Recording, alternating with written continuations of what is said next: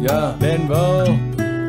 Và đời bằng đại lộ. Còn anh và đời bằng lối nhỏ. Anh nhớ mình đã từng thổ lộ. Anh nhớ rằng em đã chối bỏ. Anh nhớ chuyến xe buổi tối đó. Trên xe chỉ có một người ngồi. Anh thấy thật buồn nhưng nhẹ nhõm. Anh nhớ mình đã mỉm cười rồi. Anh nghĩ anh cần cảm ơn em Về những gì mà anh đã nếm trải. Kỷ niệm sẽ là thứ duy nhất Đi theo anh cả cuộc đời dài. Nếu không có gì để nhớ về Anh sợ lòng mình khô nứt nẻ. Hình dung em như là nữ oa Có thể phá tâm hồn này sức mẻ. Anh thường một mình tìm đến nơi có nhiều cây cối. Nghĩ về những ngày tàn đã trôi qua theo chiều tây với uh, Cũng chẳng nghĩ nhiều. Anh không mong những điều may tới. Và nếu buồn đã cũ Sao bỗng nhiên giữa chiều nay mới. Uh, Anh vẫn thường nghe thời trống vắng hay là kiếp ve sầu. Những giấc mộng non như tán lá cây xanh biết che đầu.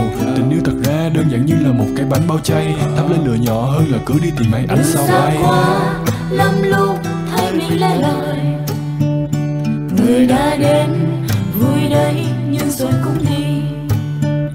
Chạm lên